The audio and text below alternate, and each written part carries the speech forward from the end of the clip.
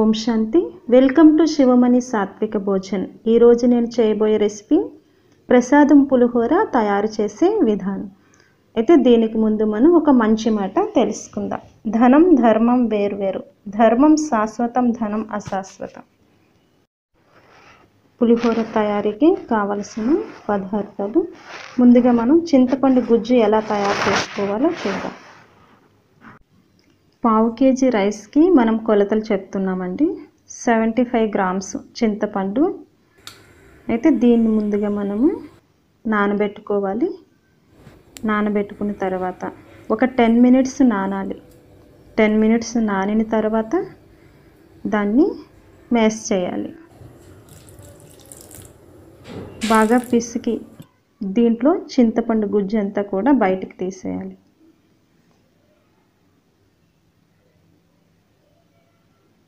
ఫిల్టర్లో వడకట్టుకోవాలి. గుజ్జు మొత్తం నీట్గా బయటకు తీసి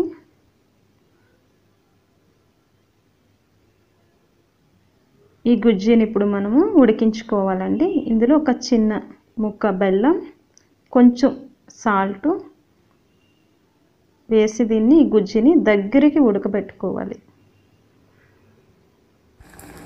ఇది బాగా ఇలా ఉడకాలండి. ఇంత థిక్గా రావాలి అనమాట ఇది ఉడికిన తర్వాత దీన్ని పక్కన పెట్టేసుకుందాము. ఇప్పుడు రైస్ చూద్దాము. ఒక గ్లాసు బియ్యం అండి పావు కేజీ. దీన్ని కడుక్కున్న తర్వాత దీనికి రెండు గ్లాసుల వాటర్ పోయాలి.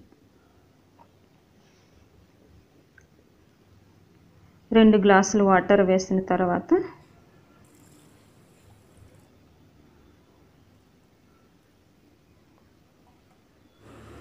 దీంట్లో హాఫ్ టీ స్పూను పసుపు కొద్దిగా salt half teaspoon oil వేయాలి. అంటే పొడి పొడిగా అన్నం రావటానికి ఇందులో ఆయిల్ వేస్తున్నామండి. సాల్ట్ కూడా వేస్తే అన్నం టేస్టీగా వస్తుంది. పోపుకి కావలసిన పదార్థాలు అల్లం ముక్క కరివేపాకు ఐదు పచ్చిమిరపకాయలు వేరుశనగ పలుకులు ఫోర్ టీ స్పూన్స్ శనగపప్పు టూ టీ స్పూన్స్ మినప్పప్పు టూ టీ స్పూన్స్ జీలకర్ర వన్ టీ స్పూను ఆవాలు వన్ టీ స్పూను ఎండుమిరపకాయలు మూడు ఇంగువ కొద్దిగా. అన్నము టూ విజిల్స్ వచ్చినంత వరకు ఉడకనివ్వాలండి. ఇప్పుడు మనము అన్నంలో పచ్చిమిరపకాయలు అల్లము కరివేపాకు అన్నీ కూడా పచ్చిగానే మనం కలుపుకుంటాము. పచ్చిగా కలపడం వల్ల మంచి స్మెల్ వస్తుందండి. పులిహోర టేస్టీగా కూడా అనిపిస్తుంది. అన్నము ఉడికిపోయిందండి. ఇప్పుడు పచ్చిగా వేసిన పచ్చిమిరపకాయలు కరివేపాకు అల్లము దానిపైన మనము ఈ అన్నాన్ని వేయాలి. ఇలా వేయటం వల్ల ఆ ఫ్లేవర్ అనేది అన్నానికి బాగా పడుతుంది. పచ్చిమిరపకాయలు అల్లం కరివేపాకు యొక్క ఫ్లేవరు. వేడివేడిగా ఉన్న అన్నంలో కలిపితేనే బాగా పడుతుంది అన్నమాట. ఇప్పుడు దీన్ని బాగా కలుపుకోవాలి చల్లారిన తర్వాత.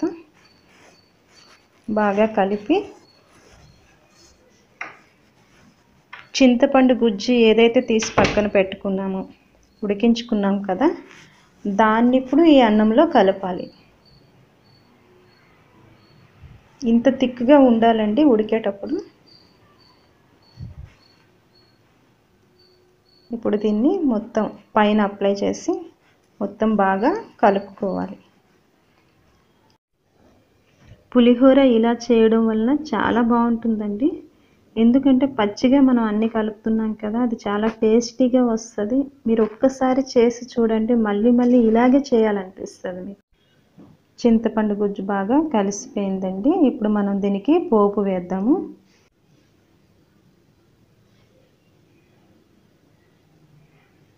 స్టవ్ పైన కడాయి పెట్టి five teaspoons oil. Oil బాగా హీట్ అయిన తర్వాత ఫోర్ టీ స్పూన్స్ వేరుశనగ పలుకులు. వేరుశనగ పలుకులు కొద్దిగా వేగిన తర్వాత శనగపప్పు మినప్పప్పు వేయాలండి. ఇవి కూడా కొద్దిగా వేగిన తర్వాత జీలకర్ర ఆవాలు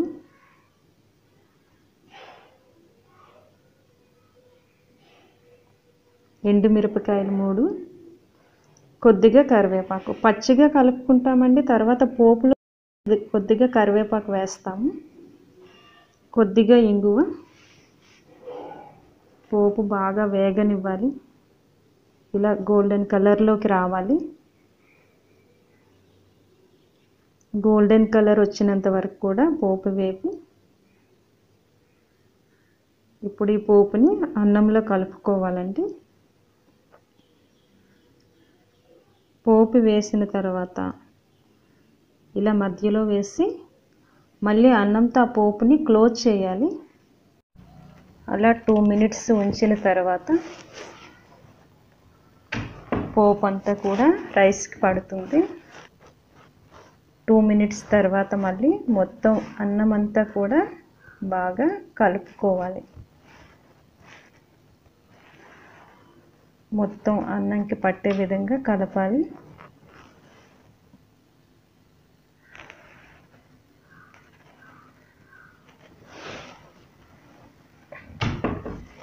ఇలా పులిహోర చేయడం ద్వారా చాలా చాలా టేస్టీగా ఉంటుందండి. మీరు ఒక్కసారి ఇలా చేశారంటే మళ్ళీ మళ్ళీ మీకు ఇలాగే చేయాలనిపిస్తుంది. అంత బాగుంటుంది.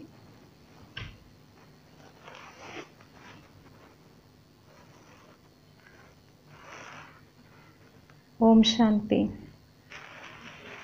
Thank you for watching